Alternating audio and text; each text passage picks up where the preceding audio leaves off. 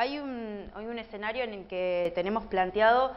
eh, a partir de personajes políticos muy importantes, como en este momento el Papa, eh, como por ejemplo eh, Raúl Castro saliendo a decir desde el principio de, este año estamos y vivimos en un continente de paz, ¿no? que lo entiendo como una expresión de deseo, porque digo, si vamos a los territorios, esto se convierte nuevamente en, territorios conflictivos constantemente y de parte de, la mano de los estados, ¿no? Eh, ¿Cómo hacemos para pensar este escenario político y, las perspectivas políticas que abriría eh, los diálogos, tanto con el ELN como con, la FARC, para el proceso de justamente lo que planteaba, digo, un poco por, por el costado Julio, que tiene que ver con los pueblos como posibles negociadores eh, en, este escenario político, ¿no? Sí, no, yo, yo diría que en Colombia hemos transitado en los últimos años una experiencia muy, muy especial y es que el movimiento popular ha logrado cohesionarse alrededor de la cumbre agraria étnica campesina y popular que se convirtió eh, en la mm, punta de lanza, digamos, de las disputas por el territorio, por eh, eh, los bienes comunes, por la lucha por el buen vivir, por la tierra, por reivindicaciones históricas que han estado y que están en el fondo del mismo conflicto armado colombiano. Yo creo que eh, este sería como un primer punto a, resaltar. Yo creo que, que nosotros desde el movimiento social hemos comprendido que la negociación de la paz en Colombia no solamente pasa por una discusión entre el gobierno y la insurgencia. Yo creo que mm, ese, diálogo entre el gobierno y la insurgencia ha venido dejando algunas cosas positivas, como por ejemplo la Comisión Histórica del Conflicto que empezó a romper con la historia oficial de, un conflicto eh, hecho por bandoleros y, y, transitó hacia un conflicto político. O sea, de nuevo se reivindicó en Colombia y se ha reivindicado desde el punto de vista no solamente social, político, sino académico, que en Colombia hay un conflicto de carácter político que tiene causas estructurales eh, en el país, donde, por ejemplo, eh, se ha planteado que existe una insurgencia social y una insurgencia política que están en disputa eh, por, por, el orden establecido. Parece, me parece que, que ese es otro de los aspectos, digamos, positivos del debate en Colombia que como decía eh, eh, Gambina, no trascienden a los medios masivos y hegemónicos, pero que sí están hoy ya en la constitución de, ese eh, espacio contrahegemónico que hemos venido constituyendo en Colombia. nosotros, el movimiento popular, creo que tiene claro que las negociaciones de paz en La Habana y en Quito y que, se vienen desarrollando con las FARC y con el ELN, no van a resolver eh, las condiciones, digamos, sociales y de pobreza, ni del modelo económico que, tiene el país, el modelo neoliberal, y que somos nosotros, el movimiento social, quienes estamos llamados a construir esa disputa eh, contrahegemónica.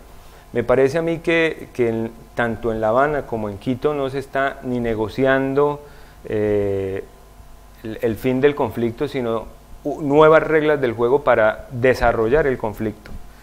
que desde el terreno de lo social, de lo político, con garantías para el debate, para la participación. Ahí no va a haber una conciliación de posiciones respecto al modelo económico ni respecto a la visión política. De hecho, los voceros de la ultraderecha colombiana han salido a decir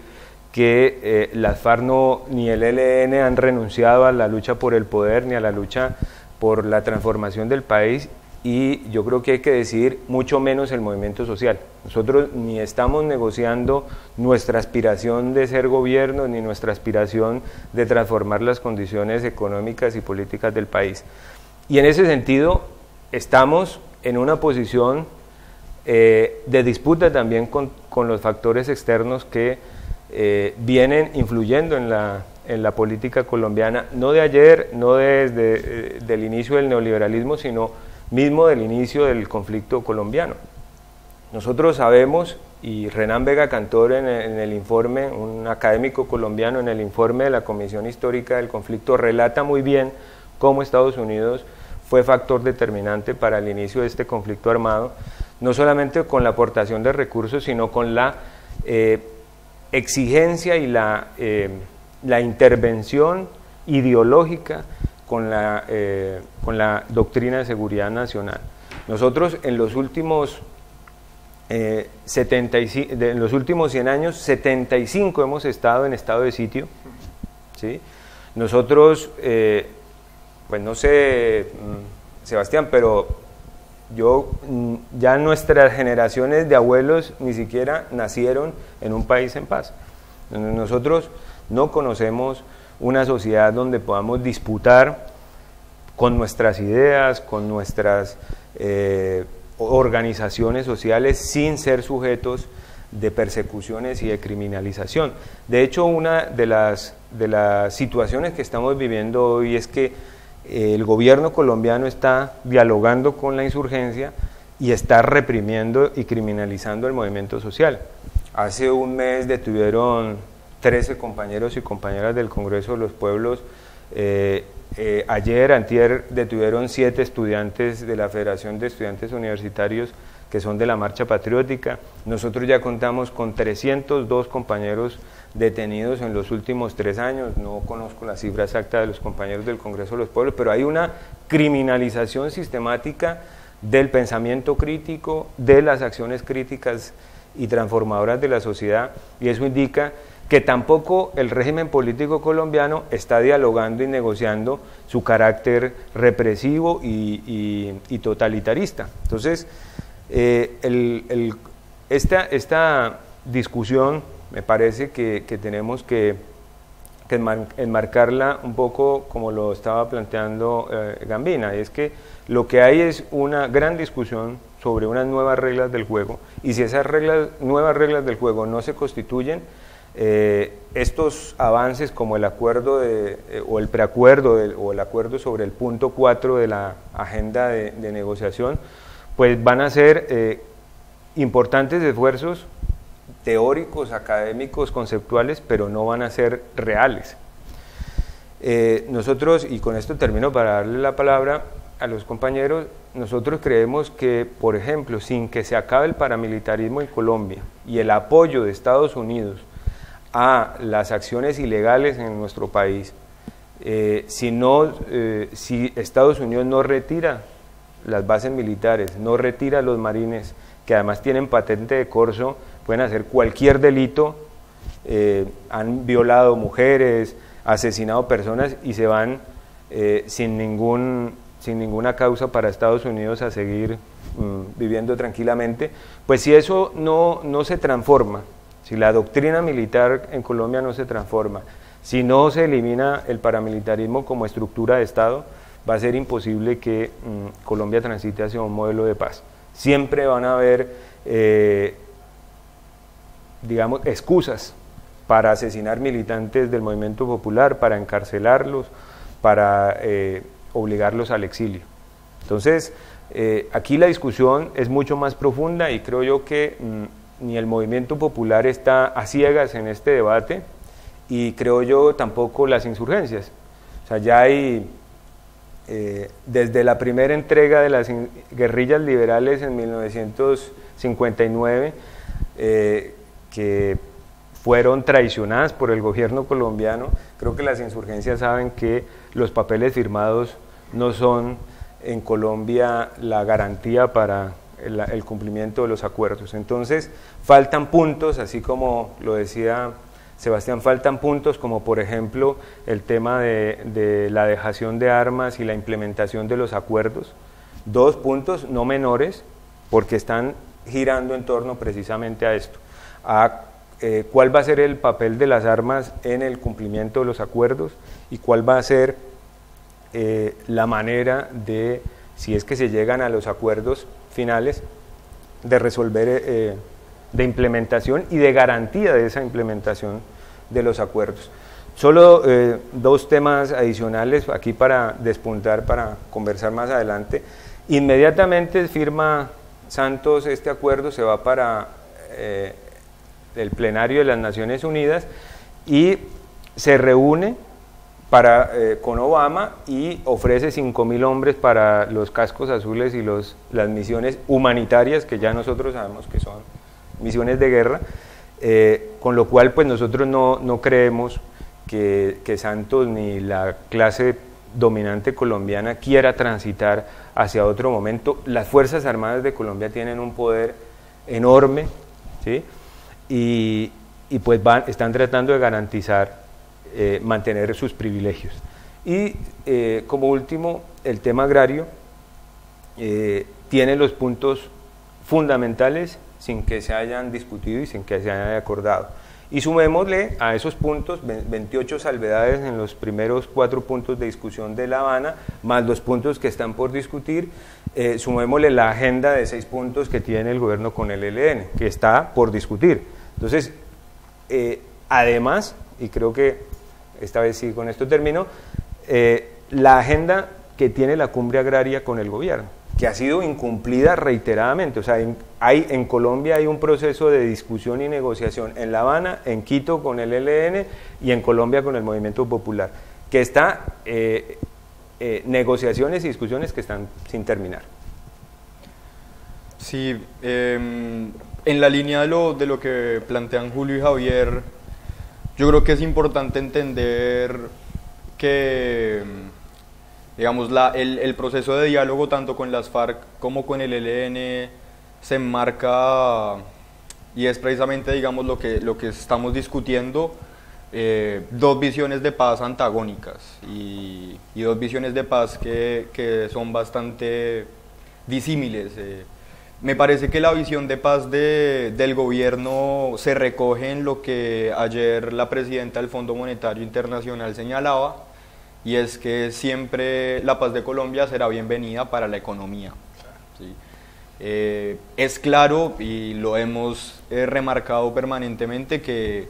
eh, la intención del gobierno colombiano de avanzar en un proceso de diálogo y de paz no eh, tiene que ver con un acto de buena voluntad y de buena fe, sino tiene que ver con eh, generar condiciones para profundizar un modelo económico eh, que ya se ha venido profundizando, pero que ha tenido ciertos límites. en concreto, la, la, explotación de los recursos mineroenergéticos, la extensión del modelo agroindustrial, necesita, digamos, de la pacificación de determinados territorios en donde hay presencia eh, tanto de las FARC como del ELN, eh, que impide la explotación, digamos, más efectiva y más eficiente, eh, tanto del petróleo como del carbón, como de la extensión de la palma y de los demás monocultivos que, que se vienen dando en Colombia. Esa es la paz, digamos, de, de, del régimen político colombiano, esa es la paz de, del gobierno de Juan Manuel Santos, que se suma a, digamos, a todo el doble discurso que el gobierno ha tenido a lo largo de este proceso, que ya lo señalaba Javier. Entonces, mientras negocia eh, eh, con la guerrilla y acuerda eh, franjas, digamos, de, de, condenas de 5 a 8 años, no solamente viene persiguiendo y encarcelando al movimiento social, sino que lo viene haciendo en términos punitivos con un calibre bastante alto. ¿no? Eh, los compañeros del Congreso de los Pueblos que fueron capturados eh, están sindicados a, por parte de la Fiscalía a 22 y 30 años de cárcel. El líder indígena Feliciano Valencia, que fue capturado también hace dos semanas eh, por hechos, digamos, de movilización, está ya condenado a 16 años de cárcel.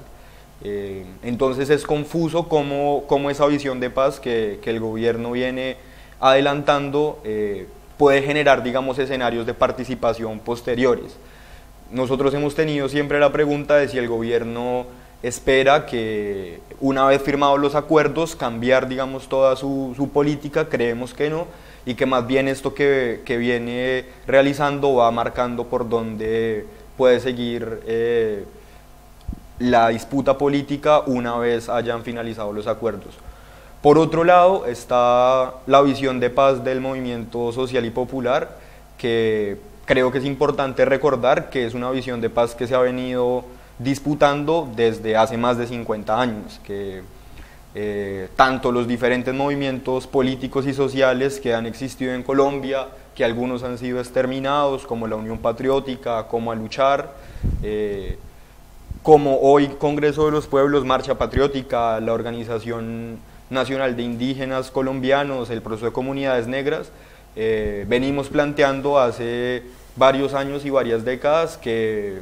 eh, la salida, digamos, y la construcción de la paz en Colombia implica eh, aperturas políticas, implica crear espacios para la participación de los sectores alternativos y democráticos, e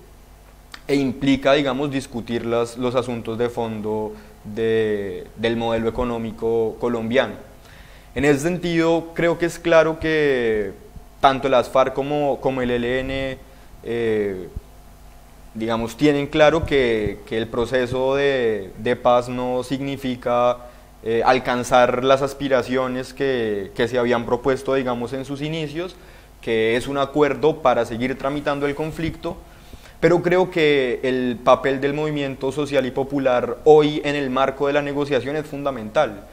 porque no es lo mismo eh, un acuerdo de fin del conflicto armado, eh, más pegado a la visión que tiene Santos, o un fin del conflicto armado más pegado a la visión del movimiento social y popular.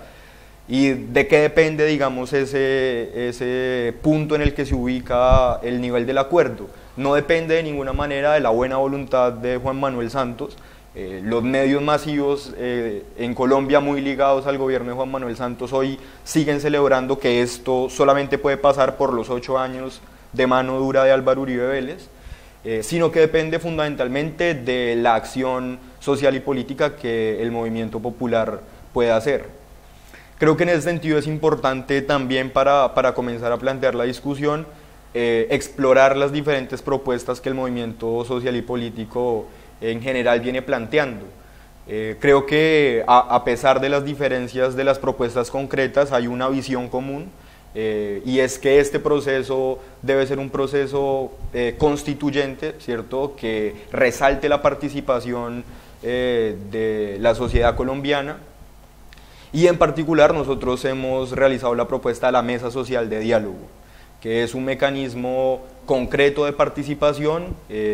un diálogo, digamos, a diferentes voces, en donde sobre todo las voces de quienes menos hemos estado escuchados históricamente en la construcción del Estado colombiano pueda realzarse y pueda tener centralidad eh, en este momento. Que ese proceso constituyente eventualmente pueda llevar a una Asamblea Nacional Constituyente, creo que depende de la capacidad de construir una correlación de fuerzas, eh,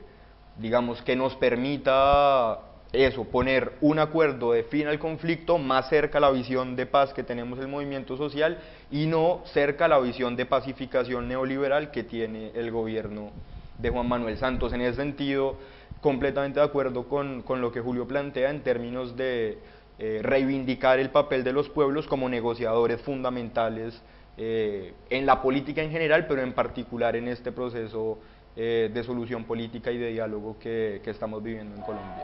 yo, creo que me parece importante enmarcar eh, este debate que estamos planteando en un momento muy fuerte de la crisis de la economía capitalista mundial,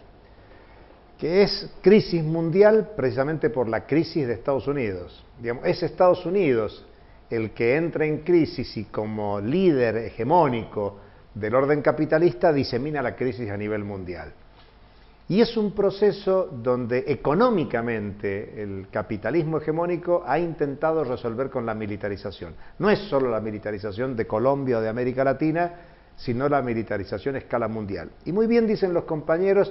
necesitan cierta paz para el desarrollo económico, pero no nos engañemos.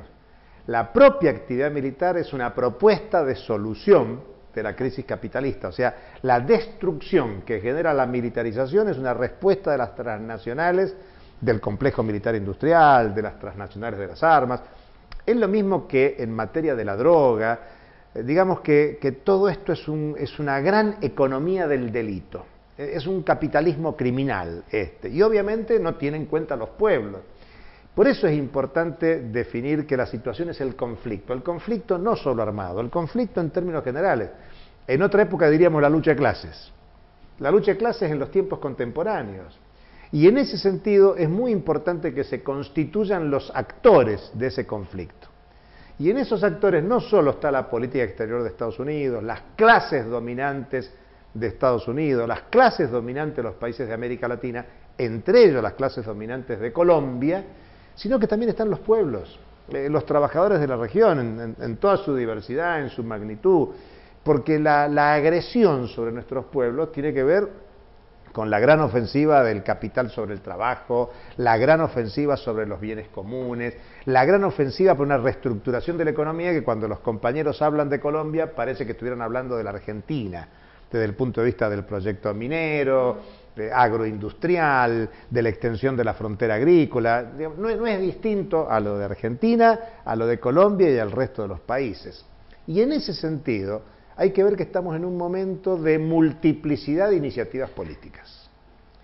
Yo recién mencionaba que hay una iniciativa política muy fuerte de Estados Unidos que quedó se expresa sobre todo con Cuba y que está mostrando una adecuación de la política estadounidense al no poder derrotar mm, por la vía del bloqueo o de la invasión a Cuba, se intentan otros mecanismos. En ese marco se inscriben estas, estas negociaciones. La Iglesia está desarrollando una fuerte iniciativa política en la región, en el territorio mundial de mayor concentración de, de Grey católica en, todo el mundo. Si hay un lugar, un territorio donde están los católicos del mundo, esa es América Latina. Y la iniciativa política de la Iglesia no en vano se lleva adelante con un papa latinoamericano, con un papa argentino, con un discurso que sorprende a todo nivel, incluso a la izquierda, porque es un discurso donde pone en el centro de la crítica al capitalismo, con nombre y apellido, no es eufemístico. Después está si uno puede creer o no creer, eh, cuánto está dispuesto a eso, a avanzar en una propuesta anticapitalista e incluso socialista. Ustedes decían, el proyecto de la paz de los pueblos es distinto al proyecto de paz del gobierno y de las clases dominantes colombianas. Bueno, yo lo que quiero poner en evidencia es que acá hay iniciativas políticas en juego, porque venimos de un siglo XXI que tuvo una impronta de mucha iniciativa política de los pueblos que se manifestaron en proyectos políticos de transformación de la realidad, lo que algunos hemos llamado cambio político en América Latina. Y quizás el, liderazgo más claro de esa etapa fue el de Hugo Chávez país vecino de Colombia, además, revolución bolivariana, eh, proyecto de socialismo del siglo XXI. Pero hace unos cuantos años que Hugo Chávez ya no está y, que ese proyecto este, tiene eh, algunas este, discusiones en torno a cuál es el liderazgo de ese proyecto de cambio político en América Latina. En ese marco es que se inserta la, Iglesia y hay un debate de quién va a liderar el proyecto político de los pueblos. Por eso no es un tema menor las negociaciones en, Cuba. Y yo eh, creo que hay que enfatizar que no es una cuestión solo de que se está negociando lo militar. Por eso yo resaltaba que el primer punto es el tema de la tierra, y el tema de la tierra es un tema central en la cuestión de los bienes comunes, en el mundo entero, no es solo Estados Unidos. El mundo entero está discutiendo el tema de la tierra. Agrego, por ejemplo, China. China es una potencia en desarrollo que intenta tener un lugar en el, en el mundo y una de las novedades de los últimos 10, 15 años es China socio comercial de los países de América Latina, es China inversor en los países de América Latina y es China prestamista en los países de América Latina, un país que tiene el 22% de la población mundial y solo el 7% de la tierra cultivable. Con lo cual el tema de la tierra, el tema del agua, el tema de los minerales, el tema de la biodiversidad, de la riqueza de América Latina es lo que está en discusión. Por eso, por supuesto, por eso creo que eh, hay que enmarcar esta, esta discusión, eh, está muy bien que los compañeros lo enfoquen en lo nacional colombiano, en la disputa al interior de Colombia, pero yo creo que es una, hay que enmarcarlo en la disputa de los pueblos de América Latina para, eh, digo el imperialismo en un sentido de imperialismo que incluye a las clases dominantes de nuestros países. No es un, solo un tema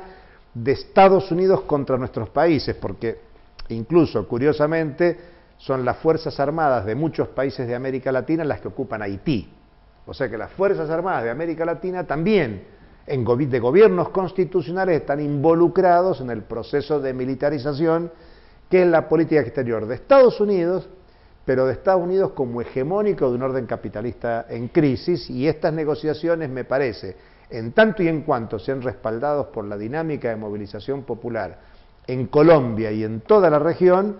eh, va a intervenir para que el otro, los pueblos, puedan constituirse en alternativa al proyecto de las clases dominantes globales.